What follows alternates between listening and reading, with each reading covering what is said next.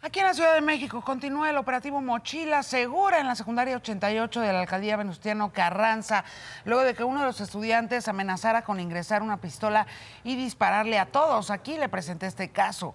Los padres de familia realizan asambleas con personal docente y autoridades para determinar las acciones pertinentes para los próximos días.